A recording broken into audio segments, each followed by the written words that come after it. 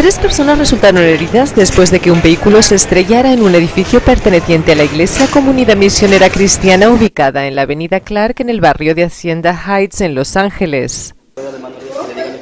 Apenas había terminado el servicio, el segundo servicio de inglés, y estaba yo parado afuera de la, de la casa cuando de repente de este lado, este, a caminar. De, de este lado, eh, empecé a ver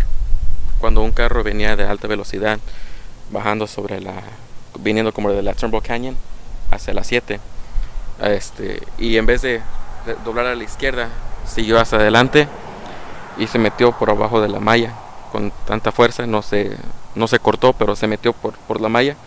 y pegándole a dos personas que estaban afuera de la iglesia de afuera de la casa y otra persona que fue herida dentro de la casa también el conductor, un hombre de unos 30 años de edad, cuya identidad no ha sido revelada, iba bajo la influencia del alcohol, de acuerdo a agentes de la patrulla de caminos de California. Fue muy horrible, mirando como una de nuestras pastoras fue impactada y lanzada al aire. Yo pienso la verdad es de que muchos deben de pensar dos veces antes de subirse a un vehículo bajo la influencia. Según un informe de la Policía de Los Ángeles, una persona muere cada media hora por conducir bajo los efectos del alcohol, siendo el alcohol el factor número uno en la mitad de los accidentes de tráfico. Fue algo muy espantoso ver cómo en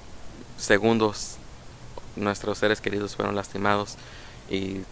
como, le digo, gracias a Dios no fue algo que fue de vida o muerte, sino que simplemente fue un acto de Dios pues que nos permitió que, que nadie muriera.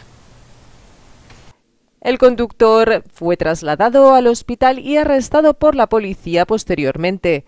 Las tres personas que resultaron heridas permanecen en el hospital en estado estable.